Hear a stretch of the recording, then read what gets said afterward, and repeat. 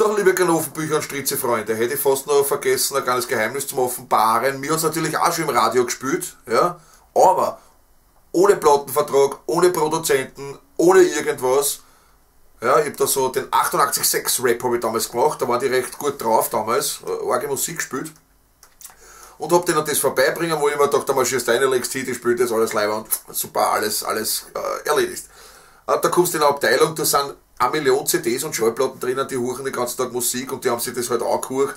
Und dann haben sie gesagt, ja, na ja, puh, ja, ist halt nicht ganz unsere Musik, wir sind so ein Rocksender, ist Rapmusik. Äh, und es ist auch sehr Alexander Nausner-lastig. Äh, Grüße gehen raus an Alexander Nausner. Du Lauser. So.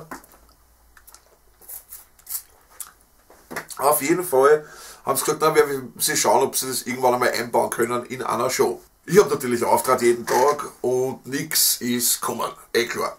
Wie ich eigentlich schon gar nicht mehr damit gerechnet habe, dass da noch irgendwas passiert in diese Richtung geht, habe ich einen Anruf gekriegt von einem guten Freund. Äh, Grüße gehen raus an Winnie Mein.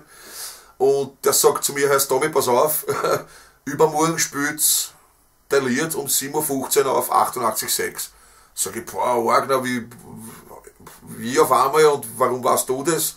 Sagt der Herr, ich hab das ein Freund vorgespielt im Popsche und der ist dann einfach hingegangen mit der CD und gesagt, das spielst das jetzt da.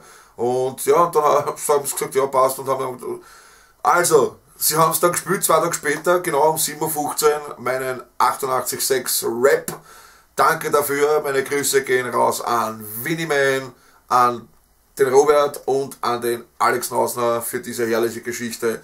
Ja, geht aber nicht immer und schickt nicht Leute hin mit irgendwelchen Sachen, dass die gespielt werden im Radio. Hat nur bei mir funktioniert. Zufällig.